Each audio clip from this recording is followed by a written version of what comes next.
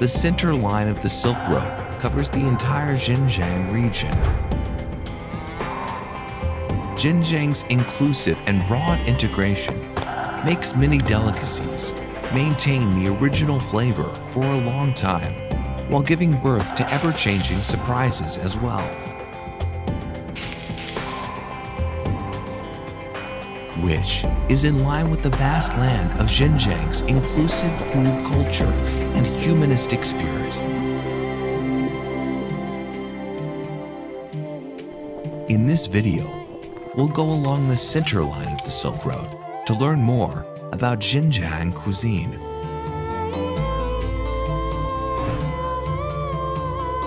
In Turpan, at the end of August, the average surface temperature rises to more than 38 degrees Celsius.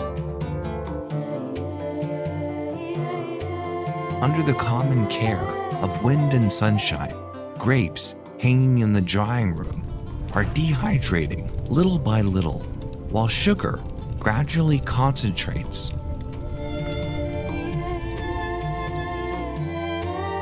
As a blessing for the harvest, a pot of hand-grabbing rice with raisin is a must. A large number of raisins are braised at high temperature to immerse its sweetness into the rice. People enjoy the sense of abundance and happiness brought by the harvest.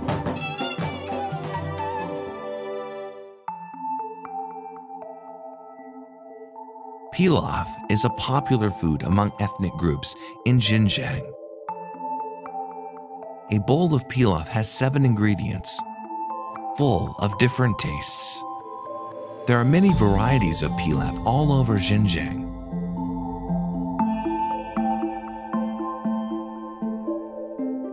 Kashgar pilaf is the representative of that of southern Xinjiang, different from northern Xinjiang pilaf it only uses yellow turnips. Then, it requires to spread large chunks of lamb neatly in the pot and sprinkle with cumin.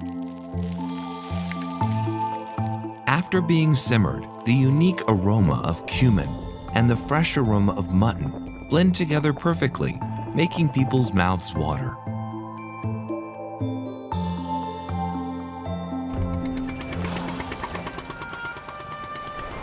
Bosten Lake, in early winter, is about to enter the closed fishing season.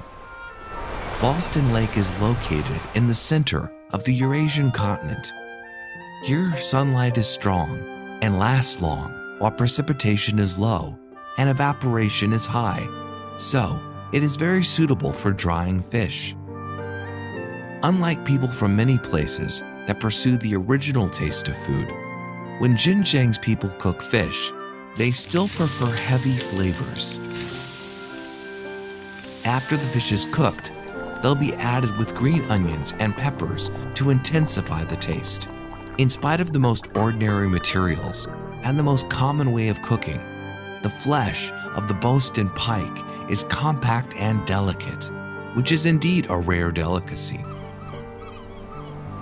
With the footsteps of the times hurrying by, on the ground, Xinjiang, there are busy people running around every day. How things change, the desert connects the oasis, the river crosses the mountains, and the blood is on the path to dream.